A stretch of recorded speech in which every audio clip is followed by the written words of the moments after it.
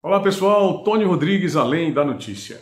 O governador do Piauí, Wellington Dias, é de uma hipocrisia sem precedentes. No dia 13 de março, ele cancelou as manifestações em homenagem à Batalha do Genipapo. Todo ano, Campo Maior, que é a cidade onde está localizado o monumento, onde ocorreu a Batalha do Genipapo, que foi a única batalha sangrenta pela independência do Brasil, em 13 de março de 1823. Então ele cancelou esse evento alegando problemas do coronavírus. Ao mesmo tempo, ele reuniu todos os diretores de hospitais públicos do estado em Teresina para tratar sobre política, para falar sobre os seus candidatos a prefeito de Teresina, os seus candidatos a prefeito no interior do estado. Evidentemente que essa reunião teve uma máscara. Né? Segundo ele, o objetivo seria tratar sobre o coronavírus, mas ao mesmo tempo ele supostamente vai realizar, segundo o anúncio feito pelo próprio, investimentos da ordem de 700 milhões de reais na recuperação da infraestrutura do Estado. Quer dizer, de onde é que apareceram de uma hora para outra esses 700 milhões de reais para investir em infraestrutura e geração de emprego e renda para a população? O governador alega que nesse momento da crise do coronavírus é preciso que o Estado fortaleça a sua economia. E aí vai fazer esses investimentos de 700 milhões de reais, curiosamente, no ano eleitoral.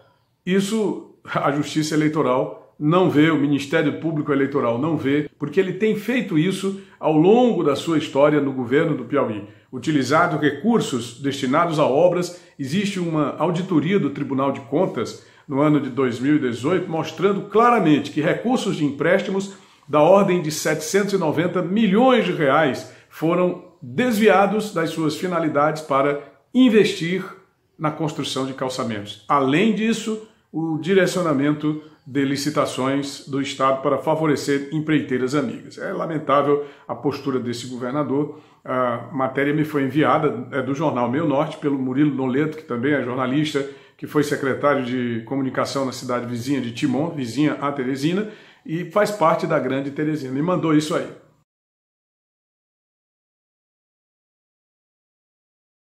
Eu comentei, é claro, dizendo que não existe ninguém mais hipócrita, ninguém mais atrabiliário do que esse governador, porque o estado inteiro está sofrendo com problemas nas estradas, com problemas de pontes, com situações como a que aconteceu há uma semana, duas semanas na cidade de Piripiri por conta das fortes chuvas, em que praticamente toda a infraestrutura urbana está comprometida, calçamentos, pontes, é, invasão de casas, bairros inteiros debaixo d'água, e tudo por culpa, inclusive, do PT, com suas ações nos programas habitacionais, sem qualquer planejamento. Então, tapa o curso das águas, as águas procuram um novo curso e vão direto para dentro das casas. Mas eu queria que vocês vissem aqui nesse vídeo algumas manifestações de populares. São pessoas dos mais diversos pontos do estado do Piauí que se manifestam mostrando, ora ironicamente, ora de maneira bem contundente, a situação lamentável em que se encontra o estado do Piauí para que esse governador venha falar em investimentos de 700 milhões agora no ano eleitoral. Porque todos os investimentos não são realizados antes no sentido de prevenir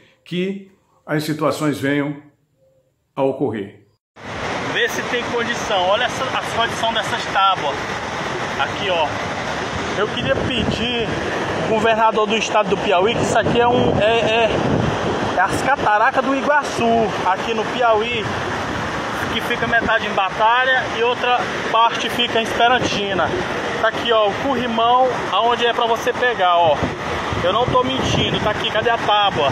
Nem uma tábua velha pra você se segurar que não tem. Eu acho que essa aqui, essa gambiarra que tá feita aqui com essas tábuas, eu acredito que seja um morador que esteja fazendo isso aqui, ó.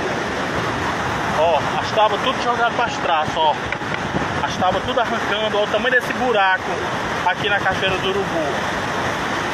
Estou atravessando essa ponte aqui, mas segurado mesmo na mão de Deus, viu? Porque a condição, eu não sei quem foi que inventou essa ponte, esse negócio de cachoeira do urubu.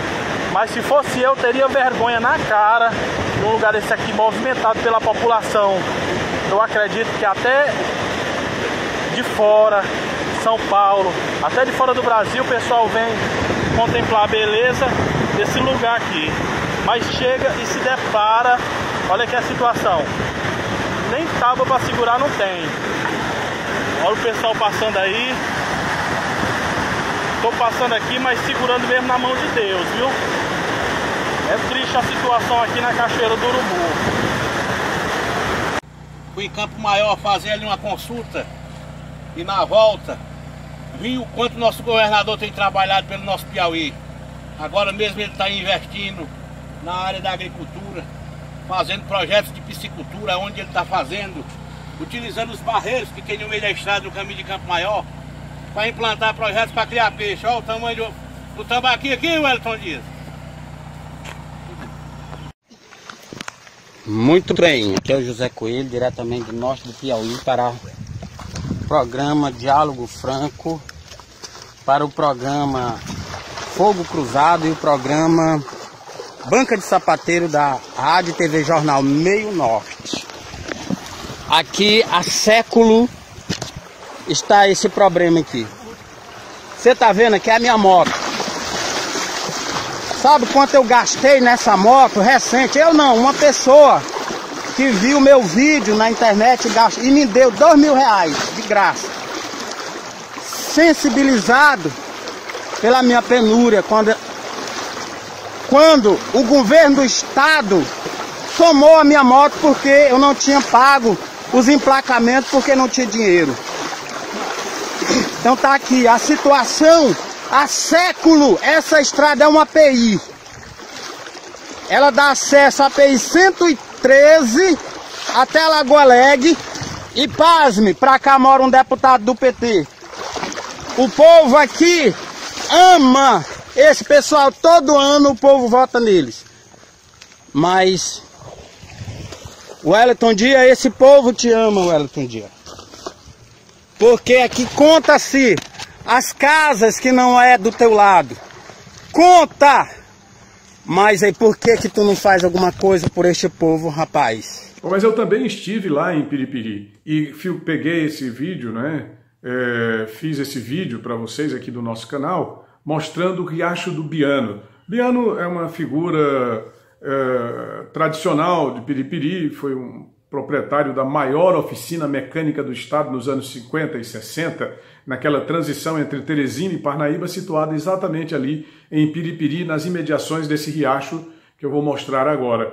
E ele faleceu, mas deixou, ficou registrado, inclusive em documento da própria Câmara Municipal, o nome Riacho do Biano. Ele passa bem dentro da própria cidade.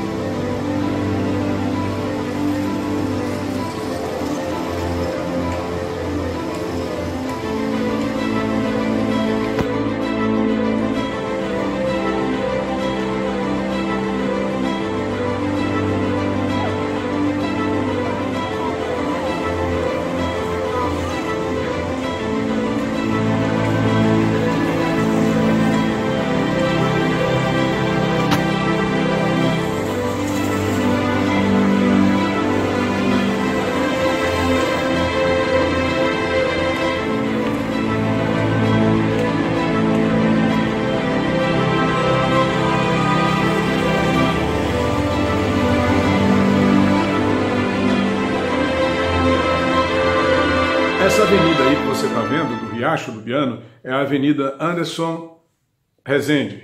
É a avenida de entrada. Quando você entra em Piripiri, essa é a avenida.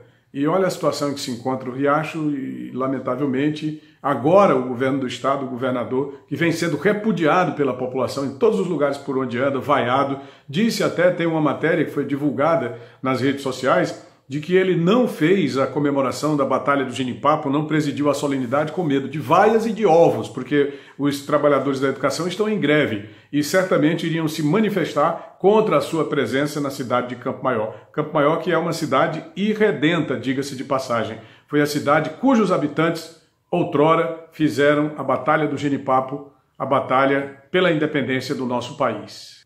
Eu também estive em Campo Maior e fiz essas imagens para vocês que estão assistindo aqui o canal, mostrando que escolas de Campo Maior fizeram evento no dia da batalha, no dia 13 de março. Ali vários estudantes, palestrantes, professores, eh, populares estiveram em Campo Maior. Claro que quando cheguei, já por volta de 13 horas, já tinha praticamente, já estava praticamente bem no final, mas houve sim manifestações, houve o evento, as pessoas foram ao monumento visitar, escolas públicas e particulares, e houve palestras de educadores, de historiadores sobre o assunto. Veja aí algumas imagens uh, do, do monumento aos heróis do Genipapo.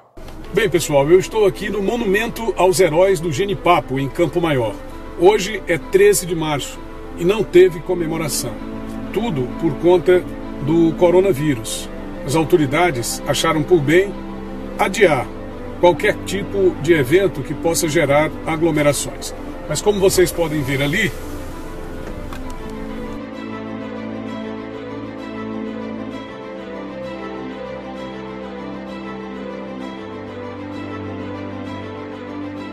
um dos mais importantes eventos históricos em defesa da independência do Brasil, que foi a Batalha do Ginipapo. Infelizmente, e eu digo infelizmente sem qualquer tipo de conotação pejorativa, mas num ato de protesto contra a falta de reconhecimento dos demais brasileiros em relação ao que aconteceu aqui.